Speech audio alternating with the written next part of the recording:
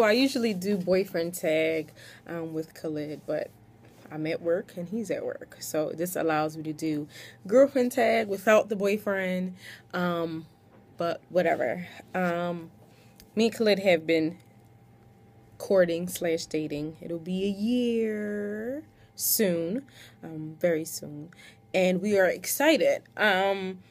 You know, people look at our pictures and the videos that we do, and you know, you guys are cute, and indeed we are. Um, but we're still human. You know, behind the pictures, behind the videos, we are human beings, um, and we are two human beings that are. Um, we were raised different, and like everybody else in the world, um, raised different, different kinds of upbringing, which plays a part in in the man that he is today and in the woman that I am today. Um, one thing that we, you know, I do want to say before I start even talking, one thing that we do have in common, um, which is the most important thing, that we are saved and we have a relationship with Jesus Christ, um, which is everything wrong. Um because you could have that in common with someone and still be unequally yoked and still not have um a lot of compatibility. Um so yeah that's pretty much that's that. I went through before khalid i was single for um for about two years. Then I gave myself a full year to really just focus on myself and not date, not go on dates, not even have phone conversations um, with a man because I wanted to um, hear God. Not only did I want to hear God, I needed God to purify me, take out anything in me that wasn't like him. Um, before Khalid, I was in a relationship where I was going to get married after two months. Yeah, literally after two months and and that was out of desperation. That was just out of to be married. Um, and not knowing nothing about marriage not understanding the covenant not understanding how serious um, marriage is. I think i was caught up in two things um, sex is the first thing. And secondly was um, the wedding dress you know and not knowing that i would have to live with this man and he would have to live with me so when I gave myself that year, I really had to go to God, like, Lord, this desperation that's in me, whatever is in me that's like burning this desire for me to be married by any means necessary, please remove it, you know. And God showed me so much about myself in that relationship and what I was going after. You know, um, I had all the wrong motives. You know, there's nothing wrong with desiring to be married, um, but I didn't under I didn't understand what I was doing so when Khalid came in my life, I was very um, on guard. I was very skeptical.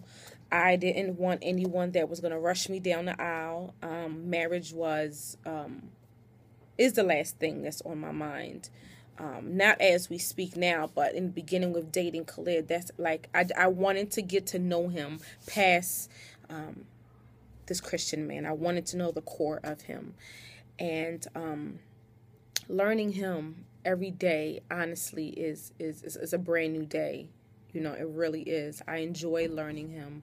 I enjoy even learning his flaws you know. Um, i have ocd when it comes to cleaning. Literally i have ocd khalid don't. Look boo i know when you're watching this i'm not knocking you. I'm just saying i, I just like my things neat. And khalid don't mind if if some things aren't he says, long as he know where it is, he can find it. But that's just an example on the many ways that we are different.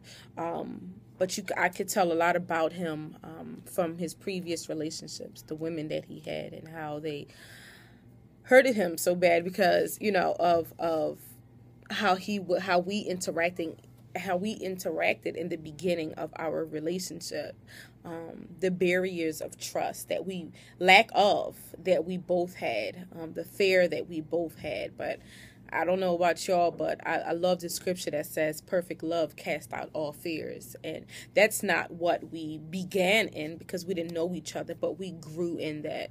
I enjoy growing with khalid. I enjoy um, learning with him. You know, I, I enjoy um, failing.